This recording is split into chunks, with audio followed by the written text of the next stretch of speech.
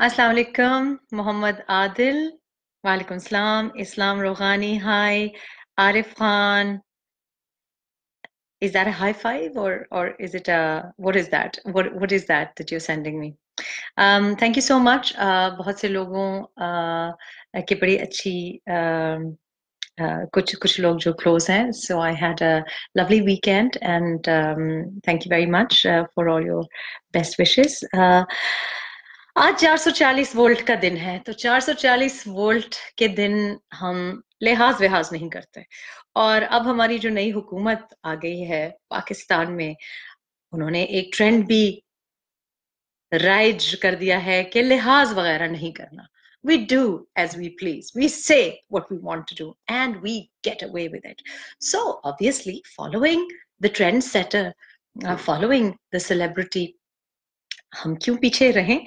सो so, uh, हम भी ऐसे ऐलानात अब करेंगे और इस किस्म की वादे करेंगे। और फिर हम ऑब्वियसली uh, अगर ना पूरे कर सके वो वादे वो ऐलानात वो अजीम एम्बिशंस और वो अजीम इरादे तो हमारे पास ऑप्शन होगा यू टर्न का। क्योंकि अब U turn is official it is official नया पाकिस्तान के हाईवे कोड में U turn is permitted not only permitted it is actually advocated as the sign of a strong leader तो आज तक आप अगर पर्सनल रिलेशनशिप्स में किसी से वादे कर चुके हैं, किसी से शादी का वादा किया तो आप यू टर्न ले सकते हैं, क्योंकि आपके सेलिब्रिटी हीरो और आपके लीडर ने कहा है कि यू टर्न सिर्फ़ एक मज़बूत लीडर ही ले सकता है। यू टर्न लेने के लिए जिगर चाहिए। यू टर्न लेने के लिए अकल चाहिए। यू टर्न लेने के लिए ये मामूली काम नहीं है। It is you know the work of leaders और अगर हिटलर और नेपोलियन बोनापार्ट ना यू टर्न uh, अगर यू टर्न ऑप्शन ले लेते तो कामयाब हो जाते। अब एनीवे anyway, हम कौन होते हैं? ये बताने वाले इन साहब को और इनकी जितने तोते रखे हुए हैं कैबिनेट में, कि U turn in so called rulers क्योंकि लीडर कहना गलत मैं समझती हूँ, लेकिन रूलर्स ने एक्चुअली ऐसे यू टर्न्स नहीं लिए जिनके बारे में ये बात कह रहे हैं, लेकिन जहाँ उन्होंने यू टर्न लिया, वहाँ वो फेल हुए। So in in many ways I think कि वो भी शायद इतना जिगर ना रखते के यू टर्न को इस तरह से क्वालिफाई कर सकते जस्टिफाई कर सकते रैशनलाइज कर सकते। लेकिन ऑफ़ कोर्स यू टर्न हमें लीडर uh, साहब ने कहा कि भाई यू टर्न अब ट्रेंड है मैं इसको ऑफिशियल कर रहा हूँ। और सबने फिर सारे जितने उनके जो मंझे हुए फॉलोअर्स हैं चाहे वो गवर्नर सिंध हो या प्रेसिडेंट पाकिस्तान हो, बाकी बेचारे इंफॉर्मेशन मिनिस्टर साहब के लिए तो आई थिंक अगर किसी के साथ मेरी हमदर्दी है, हालाँकि वो हमदर्दी के बिल्कुल लायक नहीं और सर्टनली मेरी हमदर्दी के तो बिल्कुल लायक नहीं, लेकिन आजकल मुझे उनसे सबसे ज़्यादा हमदर्दी है बिकॉज़ उन बेचारे का खैर, उनके अमाल ही ऐसे हैं कि उनको ये अहदा मिला है। उनको बड़ा ख्वाहिश थी कि ये अहदा मिले, लेकिन वो भी शायद सोच नहीं सकते थे कि उनसे ज़्यादा भी कोई यू टर्न लेगा और इस तरह से उनको बेचारे जो चौधरी हैं जहलम के, उनको इस तरह से जस्टिफिकेशन देनी पड़ेगी। बहरहाल, उनके उनके उनके यही नसीब है। लेकिन बाहर से जो एक बहुत हंड्रेड इन्फ्लुएंशियल ब्रिटिश पाकिस्तानीज में से एक नौजवान कैबिनेट या स्पेशल असिस्टेंट कहना चाहिए let's be corrected special assistant के तौर पर आए हैं, जो खास मेहरबानी है जिनकी वज़ीर आज़म साहब की उन पर। उनको मौका मिला अपनी फाइनली उर्दू बोलने का। हमें पता चला कि जी, जुल्फी बुखारी साहब भी उर्दू बोलते हैं। और जब उन्होंने उर्दू बोली तो उन्होंने कहा, अरे भाई यू टर्न तो आप कह रहे हैं। यू टर्न तो हमने तो नहीं कहा यू टर्न तो आप लोग कह रहे हैं। सहाफियों पे लगा दिया तजी निगारों पे लगा दिया कि यू टर्न तो आप इसको कह रहे हैं, हम तो इसको यू टर्न नहीं कहते, हम तो इसको उन्होंने अपने बड़े ब्रिटिश एक्सेंट में कहा कि रेक्टिफिकेशन है। और एक दफ़ा नहीं कहा, दो दफ़ा नहीं कहा, तीन चार दफ़ा कहा कि रेक्टिफिकेशन है। रेक्टिफिकेशन तो सिर्फ़ एक करेक्शन प्रोसीजर होता है। जब कोई किसी से किसी वजह से नुकसान हो रहा हो तो वहाँ से यू टर्न लेना एक्चुअली इज़ रेक्टिफिकेशन तो ऑब्वियसली बेचारे नौजवान भी हैं नए भी आए हैं। और of course chief justice of Pakistan ने बहुत पहले ये असेस uh, कर लिया कि सर्टनली ये जो वर्ड रेक्टिफिकेशन आया है ये जुल्फी बुखारी साहब भी इस्तेमाल कर सकते थे बिकॉज़ हम लोग तो बेचारे पाकिस्तानी स्कूलों के पढ़े हुए हैं और वो किसी मम्मी डैडी स्कूल के पढ़े हुए हैं according to the chief justice of Pakistan लेकिन जुल्फी बुखारी साहब को मालूम होना चाहिए कि जो हमारे लीडर साहब हैं, वो अगर कह रहे हैं कि यू टर्न है तो आप कौन होते हैं भला उसको रेक्टिफिकेशन कहने वाले? आप भी उसको यू टर्न ही कहें। U turn actually it's interesting क्योंकि यहाँ आने से पहले मैंने सोचा कि मैं यू टर्न देखूँ मुख्तलिफ़ जबानों में क्या कहते हैं। फनी इनफ मुझको पश्तों में तो यू टर्न मिल नहीं सका। प्लीज़ अगर कोई सुन रहा है तो मुझे बताए यू टर्न को पश्तों में क्या कहेंगे। यू um, टर्न को पश्तों में क्योंकि आपको पता है हम पठान लोग हैं हम एक दफ़ा गाड़ी में बैठे सीधा तो हम पहुँच जाते हैं। रिंग रोड भी सीधी सीधी पेशावर लेके जाती है। सॉरी जो मोटरवे है, वो भी सीधी सीधी पेशावर लेके जाती है। और अगर आप उसी रोड पे सीधे चले जाएँ तो आप सीधा बॉर्डर पे पहुँच जाते हैं। तो हम लोग तो इधर उधर आपको पता है, पठान लोग सीधे साधे लोग होते हैं। हम तो यू टर्न वगैरह में बिलीव नहीं करते। एक ही दफ़ा जाके ब्रेक लगाते हैं। तो यू टर्न लेकिन वैसे सराइकी में मुझे किसी ने भेज दिया और I have learn it and obviously Saraiki आपको पता है मेरी तो एसोसिएशन भी है इमोशनल अटैचमेंट भी है सराइकी की तरह से। तो यूटर्न का जो सराइकी में तर्जुमा था प्लीज़ uh, मैं अभी सीख रही हूँ और मैं पूरी तरह से तो ऑब्वियसली वैसे नहीं बोल सकती सराइकी जैसे कि जिनका ताल्लुक मियाँ वाली से है लेकिन I am going to try it लेकिन सराइकी में सबसे अच्छा है यानी कि था था थुक के चटना। It's such a Kainchi phrase था था थुक के चटना। So I I love this and I obviously यहाँ से इंस्पिरेशन मिल रही है हमारे प्राइम मिनिस्टर साहब को अपने यू टर्न्स की। बहरहाल हम ज़्यादा मौका हमने या वक्त हमने यूके में गुजारा है। तो U turn highway code highway code जो ड्राइविंग रूल्स हैं यूनाइटेड किंगडम में आ, उनको हाईवे कोड कहते हैं। और हाईवे कोड के मुताबिक यू टर्न सिर्फ़ उस, बल्कि यहाँ तो उसको यू टर्न नहीं कहा जाता, उसको यहाँ पे थ्री पॉइंट टर्न कहा जाता है। लेकिन आपको ये बताया जाता है कि ये जो टर्न है, आप तब लें जबकि किसी पैसेंजर पेडेस्ट्रियन या किसी ट्रैफ़िक को उससे खतरा ना पेश आए, या इनकन्वीनियंस भी ना पेश आए।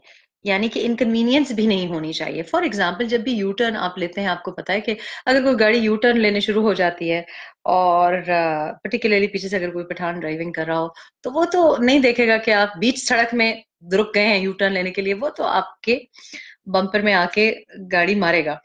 तो before making a U turn the highway code says before making a U turn failing to stop और signal left turn as required, or making a U-turn without paying attention to vehicles or pedestrians passing by, that is not allowed in the UK.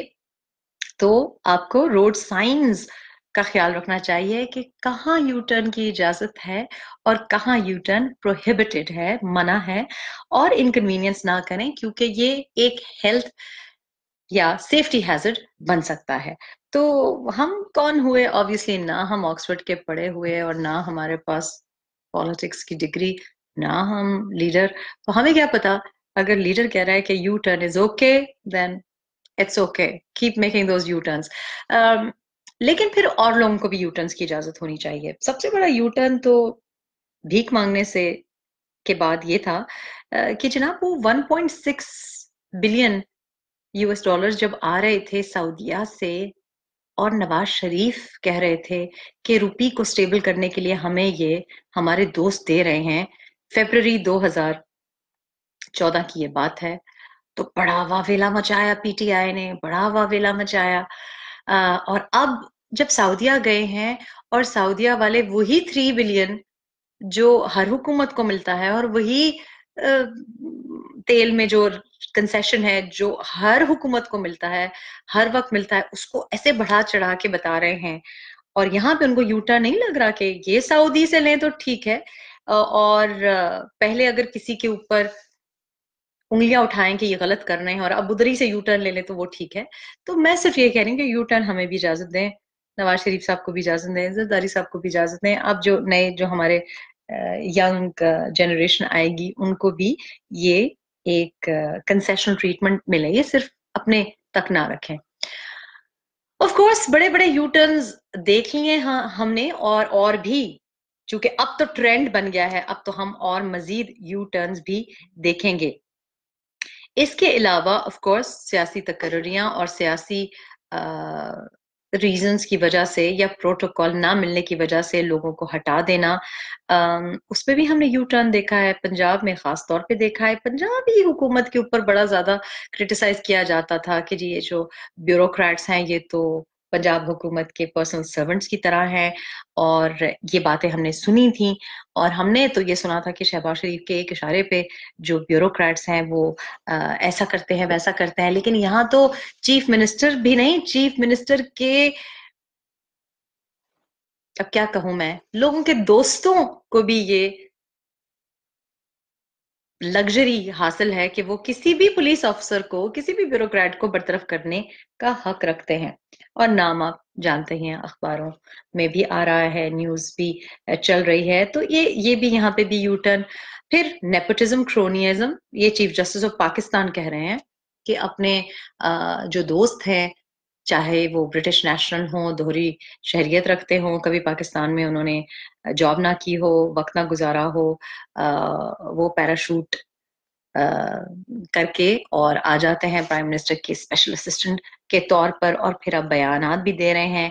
लेकिन हमें एतराज़ नहीं है क्योंकि वो हमारी vocabulary में इजाफा कर रहे हैं। रेक्टिफिकेशन रेक्टिफिकेशन का उन्होंने हमारी वोकेबुलरी में इजाफा कर दिया है। इसके अलावा ऑफ़ कोर्स बाकी जो बाशिंदे हैं, उनको यू टर्न तो बड़ी दूर की बात है, उनको आवाज़ उठाने की भी ये ना समझे आपके आवाज़ उठाना प्रोटेस्ट करना, आपको इसकी इजाज़त है। क्योंकि उस पर भी यू टर्न हो चुका है। धरना 126 दिन का हुआ, उससे पहले भी धरना हुआ पेशावर में। वो इमरान साहब करे तो बड़े क्यूट लगते थे। लेकिन अब बाकी लोग ये ना समझे कि वो धरना या प्रोटेस्ट कर सकते हैं। ये भी आप ना सोचें कि आप सोशल मीडिया पे इस बात को उभार सकते हैं कि आपका क्या हक है। तो हमने देखा है कि ना सिर्फ़ के लोकली जिसने प्रोटेस्ट किया, उसको एजेंट बना दिया, उसको मिसक्रियंट बना दिया, उसको तकरीबकार बना दिया। पश्तून तहफ़ मूवमेंट से उनका ताल्लुक हो। डजेंट मैटर कि वो एम एन ए है, ये ना समझें। लेकिन अगर आपको अपनी ट्रेडिशंस पसंद हैं या अपनी ट्रेडिशंस का आप पालन करना चाहते हैं तो ये आपको हक नहीं है, ये हक सिर्फ़ लाडला पार्टी को है। और इसी तरह से अगर आप सोशल मीडिया पे आवाज़ उठाएँगे तो जैसे अब मैं देख रही हूँ कि दायमर भाषा के जो नौजवान हैं, उन्होंने इस इशू को उठाया कि भाई हमारी जमीनें आप लें, हमारी कुर्बानियाँ आप लें, दायमर भाषा के लिए हम डैम के लिए सबसे पहले सबसे बड़ी डोनेशन हमने दी कि हमने अपनी ज़मीन दे दी। आप लोग तो दुनिया भर में पैसे मांग रहे हैं और अभी तक मेरा ख्याल है तीन बिलियन भी नहीं जमा हुए, वो भी पाकिस्तानी रुपीज़ जबकि आपका जो हदफ है वो चौदह बिलियन यूएस डॉलर्स है। और चीफ जस्टिस पाकिस्तान यहाँ पे आए हुए हैं लंदन में। मेरा ख्याल है बाईस तारीख को उनका यहाँ नवाब लंदन में बहुत बड़ा खाना भी है। फंड कलेक्शन डम डैम के लिए सॉरी मुँह से मेरे निकल गया। डैम कहना चाहती डैम कलेक्शन के लिए डैम फंड कलेक्शन के लिए वो आ रहे हैं यहाँ पे। लेकिन उससे पहले दायमिर भाषा के जो बाशिंदे हैं, दायमिर के जो भाषा है दायमिर के जो लोग हैं नौजवान हैं, उन्होंने वहाँ पे धरना भी दिया है और उन्होंने डिमांड की है। उन्होंने documents chief justice of Pakistan को कहा है कि हमारे देख लें क्योंकि हदबंदी पे तनाज़ा है तो वो तनाज़ा सॉल्व करें। यानी वहाँ पे जो तनाज़ात ज़मीन की हदबंदी पे हैं वो काफ़ी कॉम्प्लिकेटेड हैं। चित्राल को गिलगित बल्तिस्तान की हदबंदी पे एतराज़ है। चित्राल ज़ाहिर खैबर पुख्तनख्वा का हिस्सा है। इसी तरह से दायमर वालों को भाषा की जो हदूद बंदी है, उस पर इशू है और भाषा वालों को भी दायमर के इस क्लेम पे वो भी अपने, उनके भी तहफात होंगे। पर ये तमाम तनाजात जो हैं, ये सॉल्व किए बगैर डैम कैसे बन सकता है? और इसके डॉक्यूमेंटेशन है और चीफ जस्टिस पाकिस्तान को दरखास्त डाली हुई है कि इसको देख लीजिए पहले। लेकिन अब हमने क्या देखा कि वो जो नौजवान हैं, जिनके हार्डली 500 फॉलोअर्स भी नहीं हैं, उनके ट्विटर अकाउंट्स भी बंद हैं। तो गुल बुखारी का और ये जो एक और साहब है, तहा सिद्दीकी साहब उनके तो बंद किए या उनको अपेरेंटली उनको ये कहा गया कि बंद किए जाएँगे अगर वो तमीज के दायरे में ना रहे। तमीज का दायरा ये है कि जी आप प्राइम मिनिस्टर पाकिस्तान जो इंस्टॉल्ड हैं, उनके ऊपर क्रिटिसिज्म नहीं करेंगे डैम के ऊपर क्रिटिसिज्म नहीं करेंगे, वरना आप समझ रहे हैं कि ट्विटर आपको इजाज़त देगा? नहीं, आप पाकिस्तानी टेलीविज़न चैनल्स पे भी नहीं बैठ सकते। तलत हुसैन होंगे तो अपने घर में होंगे, आप भी घर जाएँ, मुर्तज सुलंगी भी घर जाए, और सोशल मीडिया पे भी आप नहीं बोलेंगे क्योंकि हम ट्विटर को ट्विटर से रुजू करके आपको बंद करवाएँगे। और ये फवाद चौधरी ने ऑन रिकॉर्ड ये बात कही है, और कल हमें पता चला कि दायमिर के जो नौजवान हैं, उनके हम देख रहे हैं कि उनके ट्विटर अकाउंट्स रिस्ट्रिक्ट कर दिए गए हैं। और बहुत से नौजवान मुझे बता रहे हैं कि उनके फेसबुक अकाउंट्स बंद किए जा रहे हैं। माइंड यू ये पीएमएलएन के नहीं है। यानी कि आप किसी बात पे भी एतराज़ नहीं कर सकते। आप किसी बात के लिए भी अपने हक के लिए आवाज़ नहीं उठा सकते। यहाँ तक कि आप अपने शहीद बाप की डेड बॉडी के लिए भी डिमांड नहीं कर सकते।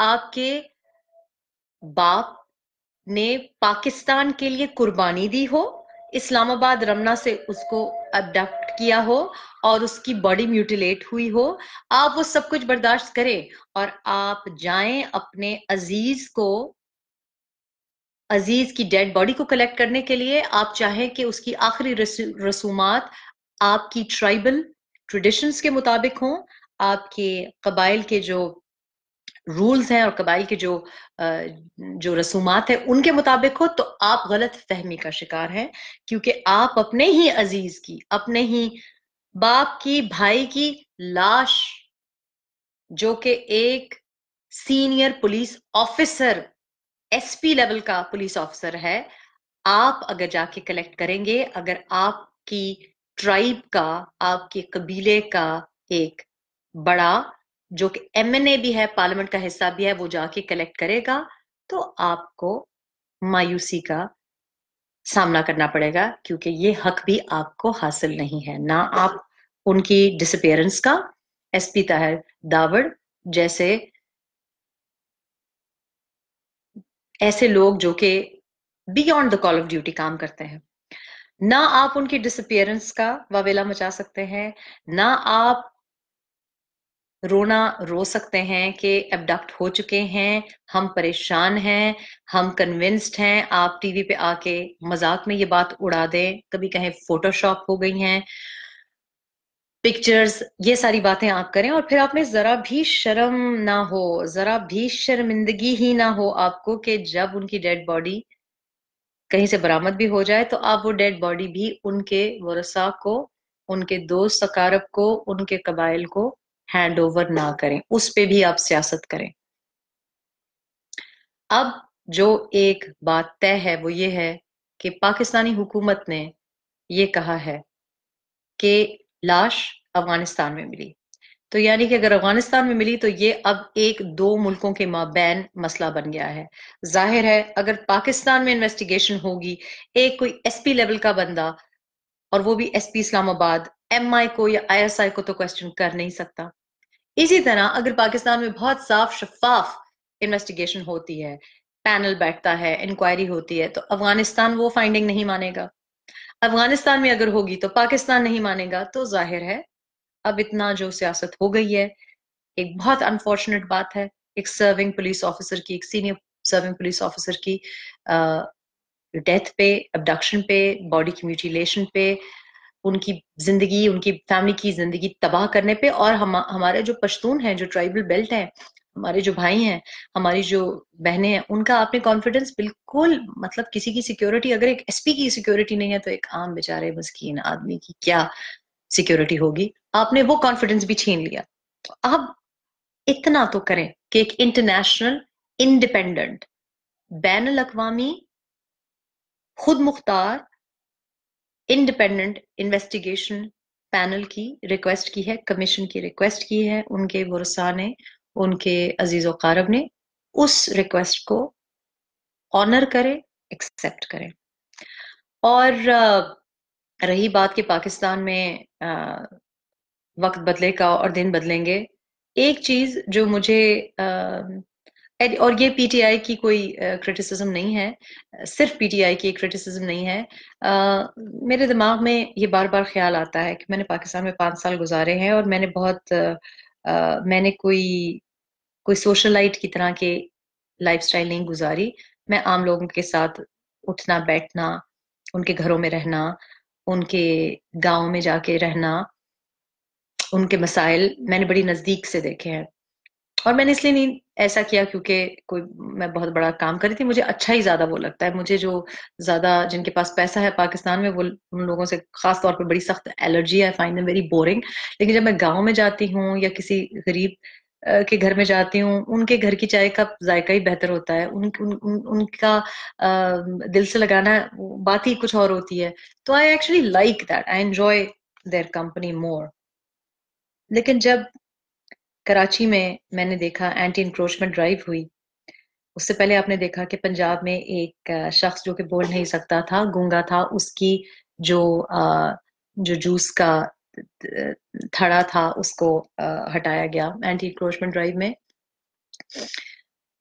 एंटी इंक्रोचमेंट ड्राइव पे एतराज़ मुझे क्या है? बहुत से लोगों को ये है कि देखिए, पिछले सत्तर साल में हमने किसी को रोज़गार नहीं दिया पाकिस्तान में। हमने इंजीनियर्स को रोज़गार नहीं दिया। तीस हज़ार इंजीनियर्स बैठे हैं पेशावर में प्रोफेशनल डिग्रीज वाले, जिनको जॉब्स नहीं मिलती। हमारा केपी तो चले, आप छोड़ें केपी में तो बिल्कुल ही जॉब अपॉर्चुनिटी नहीं है। केपी से भी, खैबर पुख्तनख्वा से भी उठ के कराची लोग जाते हैं बिज़नेस की नज़रिए से जाते हैं, मजदूरी के नज़रिए से जाते हैं। लेकिन कराची में जब आपने एंटी इंक्रोचमेंट ड्राइव की, और मुझसे ज़्यादा, मैं इतना सफ़ाई पसंद हूँ कि मुझसे ज़्यादा रबिश फाइल्स जब देखता, देखती हूँ मैं या गंद के ढेर देखती हूँ तो मुझसे ज़्यादा किसी को शायद तकलीफ़ ना होती हो। लेकिन लोगों के घरों में बच्चे भूखे मर रहे हैं, रात को भूखे सोते हैं। लोगों के पास दवाई की क्या मैयत को उठाने की एंबुलेंस के लिए टैक्सी के लिए पैसे नहीं होते, सौ रुपया नहीं होता, दो सौ रुपया नहीं होता। चार सौ रुपए दिहाड़ी है किमाड़ी पे, पोर्ट पे, जो कि एक पश्तून भाई केपी से उठ के अपनी फैमिली से दूर, एक बलोच उधर से दूर किमाड़ी पोर्ट पे काम करता है। चार सौ दिहाड़ी है, अगर वो बहुत खुशकिस्मत हो। और आप लोगों की दिहाड़ी अगर उनसे ले लेंगे, उनके थड़े हटवा देंगे, उनकी जो दुकानें हैं उन्होंने डाली है, वो हटा देंगे। आप उनके लिए कोई नेमल बदल आपने रखा है कोई सब्सिट्यूट है? ये ये कि इतनी फैमिलीज़ जो कि रातों रात आपने उनकी दिहाड़ी खत्म कर दी है उनकी मजदूरी खत्म कर दी है वो कहाँ जाएँगी? तो ये इसके बारे में किसी ने सोचा है? ये जो बाहर से आपके दोस्ताना दोस्त आए हुए हैं वो आ, वो करेंगे कुछ? उन्होंने कुछ सोचा है? या सारी आईटी के कॉन्ट्रैक्ट सिर्फ़ जुल्फी बुखारी साहब ही के मम्मी डैडी स्कूल से आने की वजह से और हंड्रेड इन्फ्लुएंशियल लोगों में से होने की वजह से उनको ही जाएँगे। क्या सिर्फ़ इमरान साहब के दोस्त ही रोज़गार के मुस्तहक हैं? क्या सिर्फ़ इमरान साहब के दोस्त ही बनी गाला में घर रखने के मुस्तक हैं? क्या सिर्फ़ इमरान साहब की फैमिली ही दुबई में प्रॉपर्टीज़ रहने, रखने की मुस्तक है? या जुर्माना दे के अपना घर बचाने और अपना, अपनी इज़्ज़त बचाने की मुस्तक है? चले, वो भी सही। मैं कहती हूँ आपको सौ खून माफ़, लेकिन ये जो नौजवान है, जिन्होंने, और कराची में उर्दू स्पीकिंग जिन लोगों ने 2013 में भी आपको वोट दिया, उर्दू वोट बैंक आपका बढ़ा, उनके लिए आपने कोई जॉब्स का सोचा है? कराची, सारी दुनिया आती है। नौकरी के लिए, मजदूरी की तलाश में।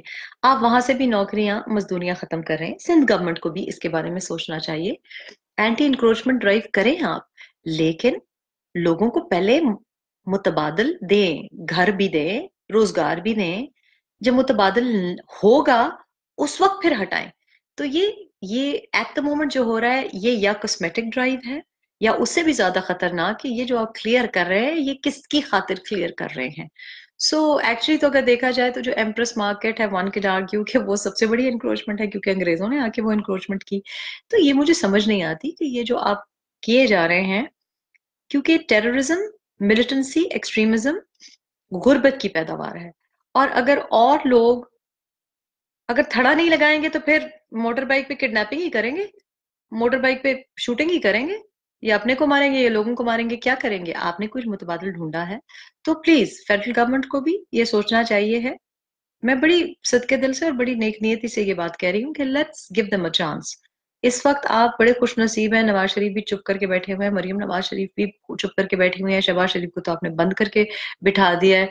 ना बिलावल भुट्टो आपको तंग कर रहे हैं, ना जरदारी साहब आपको तंग कर रहे हैं, आपको कोई भी तंग नहीं कर रहा। और माशाल्लाह, पाँच तो चीफ मिनिस्टर आपके हैं। पंजाब में और आपको क्या चाहिए? अब अगर इन हालात में चीफ जस्टिस ऑफ़ पाकिस्तान हो या आर्मी हो सारे के सारे एक स्टेज पे मेरा मतलब है एक पेज पे है तो इससे बेहतर अब और क्या आप चाहते हैं? और आ, मेरा ख्याल है इससे ज़्यादा कंड्यूसिव हालात नहीं हो सकते कि सबके साथ आपकी आप कह रहे हैं कि बहुत अच्छे ताल्लुकात हैं खा वो चीन हो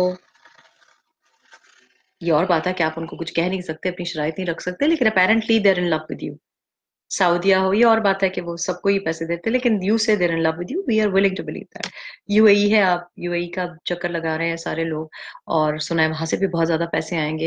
एंड ऑफ़ कोर्स आप कहते हैं ओवरसीज पाकिस्तानीज भी आपसे बहुत मोहब्बत करते हैं, वो तो मोहब्बत का तो हमने इजहार देख ही लिया कि कितने ज़्यादा पैसे अभी तक जमा हुए हैं गुजश्ता सौ दिन तो पूरे हो गए हैं तो उसमें हमने देख लिया कि कितने ज़्यादा आए हैं। लेकिन अगर इन हालात में भी आप लोगों को साफ़ पीने का पानी जिसपे बहुत ज़्यादा पैसे नहीं लगते, मेरा ख्याल है पाँच मिलियन घर बनाने से तो ज़्यादा अचीवेबल अटेनेबल गोल है कि आप सारे पाकिस्तान को साफ़ पीने का पानी दे दें। और रोज़गार और रोज़गार अगर आप खुद नहीं बना के दे सकते, ये पाँच मिलियन होम्स और ये जो बड़े बड़े आपके मेगा प्रोजेक्ट्स हैं, मैं सिर्फ़ ये कह रही हूँ कि छोटे लेवल पे हम अपने लोगों को जॉब्स के लिए ट्रेनिंग दे सकते हैं। आप ये तो कह सकते हैं चाइनीज़ को, अगर आप और कुछ नहीं कह सकते, कि सीपेक आप बना रहे हैं और आप हमें सीपेक पे हमारे नौजवानों को रोज़गार के और रोज़गार की ट्रेनिंग के मौके प्रोवाइड करें। ये आप कोई बहुत अनहोनी सी चीज़ नहीं मांग रहे। ये उनके कॉर्पोरेट सोशल रिस्पॉन्सिबिलिटी में ये लिखा हुआ है कि लोकल्स का सत्तर फ़ीसद से ज़्यादा हक बनता है नौकरी, नौकरियों पे। तो हमें ये नीलम जहलम के वक्त भी सोचना चाहिए था, हमें ये सैनटेक के वक्त भी सोचना चाहिए था। हमें अब ये सीपेक पे यकीनन सोचना चाहिए। गवादर की बात हो रही है, सबसे पहले गवादर के जो लोकल्स हैं, उनको जॉब्स मिलनी चाहिए गवादर पोर्ट पे। लोकल जो ठेकेदार है, उनको ठेके मिलने चाहिए वहाँ पे। चाहे छोटे होटल्स बनाने हो या वहाँ पे ग्रोसरीज प्रोवाइड करना हो या टोल बूथ्स हो या सीमेंट फैक्ट्रीज हो, ये सारी पाकिस्तानियों को मिलनी चाहिए है।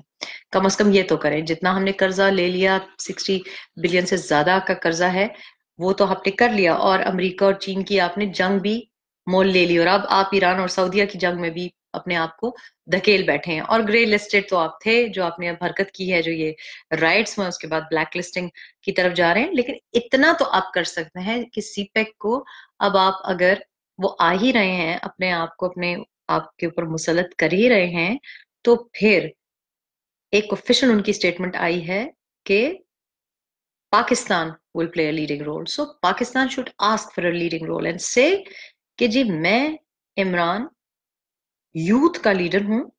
मेरे पीछे सारी यूथ खड़ी है। यूथ ने मुझे वोट दिया। यूथ मुझको सपोर्ट करती है। 64 परसेंट हमारी यूथ है। हमें सीपेक पे उस 64 परसेंट यूथ के लिए नौकरियाँ चाहिए हैं ट्रेनिंग सेंटर्स चाहिए हैं। ये अगर आप एक कर लेंगे तो इसके लिए अगले सौ दिन भी हम लोग आपको मौका दे देंगे। अगर आप ये भी नहीं करके जाएँगे तो आज जो आपको आप ही के इंसाफियंस गालियाँ दे रहे हैं, कल इससे डबल गालियाँ पड़ेंगी। तो लोगों की दुआएँ इकट्ठे करें, लोगों की गालियाँ इकट्ठी और लोगों की बदुआएँ इकट्ठी ना करें। और मैं इसलिए कह रही हूँ, क्योंकि इस हुकूमत का बर्बाद होना, इस हुकूमत का फेल होना, पाकिस्तान की बर्बादी और पाकिस्तान का फेलियर होगा। हमारे पास वक्त बहुत कम है। हम अब और मजीद तजर्बे नहीं कर सकते पाकिस्तानी अवाम के साथ। 210 से 220 मिलियन अवाम है और इस अवाम को हम मजीद अंधेरों में, तारीखियों में, बेरोजगारी में, इंतहा पसंदी में नहीं धकेल सकते। पॉलिटिक्स की खातिर, कुर्सी की खातिर आपने किया, अब आप पहुँच गए हैं। अब खुदारा, राह रास्त पे आ जाए। अब प्लीज़ आईएमएफ भी हो गया यू टर्न भी मान लिया सबने सऊदिया भी हो गया ईरान को भी आपने खफा कर दिया, सब कुछ हो गया। डोनाल्ड ट्रंप उधर से आपको कसीदे आपके पढ़ रहे हैं और आपके खत से कोई फ़र्क नहीं पड़ेगा। फ़र्क पड़ेगा जब आप भीख मांगना छोड़ेंगे और भीख आप कैसे मांगना छोड़ेंगे? जब आप हमारे नौजवानों को एनेबल करेंगे कि वो किसी लायक हो सकें, कि वो जॉब्स कर सकें और उनके लिए आप जॉब्स क्रिएट करेंगे। और जॉब क्रिएट करना कोई मुश्किल काम नहीं है। आप फॉरेन ओवरसीज पाकिस्तानी से चंदा जमा करने के बजाय, फॉरन आपके जितने फ्रेंड्स हैं, फॉरन इन्वेस्टर्स आपके जो लॉबी है, उनसे कहिए कि प्लीज़ पाकिस्तान में इन्वेस्टमेंट करें इन टू ट्रेनिंग और youth and giving them jobs that is the one thing that you should be doing and that is the only thing that is going to save you and save pakistan allah aapka हामी नासिर हो और जो by the way मैं आखिर में कहना चाहती हूँ कि जितने भी जब कोई मुझे क्रिटिसाइज करता है या तनकीद करता है और आज ही एक बच्ची से मेरी बात हुई तो उसने कहा कि बड़ी किसी ने कोई बुलिंग वाली बात की और उसका बड़ा दिल टूटा हुआ था, कोई उसने फोटोग्राफ कहीं देख लिया। तो मैंने उसको कहा, देखो, जब आपको कोई तनकीद का निशाना बनाए पर्टिकुलरली औरत को, या कोई गाली निकाले तो आपको और डट जाना चाहिए। तो मुझे जो, मेरे जो सबसे बड़े मौसम हैं, वो वो नहीं है जो कि मुझको प्यार और दुआएँ भेज रहे हैं। वो भी हैं, ज़ाहिर उनकी दुआओं की वजह से मैं यहाँ पे हूँ। लेकिन सबसे ज़्यादा थैंक यू टू यूथियाज बिकॉज़ आप लोगों की वजह से आई गेट रियली मोटिवेटेड जब मैं एक नेगेटिव कमेंट देखती हूँ, मैं कहती हूँ, ये बच्चा, नहीं, मुझे और काम करना है। मुझे और सुधार लाना है। मैंने और भी डटे रहना है, इसलिए क्योंकि ये पाकिस्तानी बच्चा, मैं इसको इसको बर्बाद नहीं होने दूँगी। ये जो आज अपनी माँ की जगह औरत को गाली दे रहा है, जो इतना ब्रेन वॉश्ड है, मैं इसको बचाऊँगी। तो बेटा, आप जो सबसे ज़्यादा मुझे गालियाँ दे रहे हैं I love you and I want to not let go of you I am not here to use you I will protect you because you deserve it you deserve a better training, a better upbringing, and a lot more love and education, वो मैंने आपका बेड़ा मैंने उठाया है क्योंकि मैं समझती हूँ आप गुमराह हैं और मैंने कोई मैं कोई पॉलिटिक्स नहीं कर रही मैं ये प्रीचिंग के तौर पे कर रही हूँ। आपको उस तरह से तवज्जो और प्यार नहीं मिला जैसे उन लड़कों को मिला है जो कि मेरी बात समझ रहे हैं तो मैं आपको वो तवज्जो वो प्यार वो टॉलरेंस वो रवादारी, वो मैं आपको सिखा के छोड़ूँगी। ये मेरा आपसे वादा है। टेक केयर ऑफ़ योरसेल्फ अल्लाह हाफिज।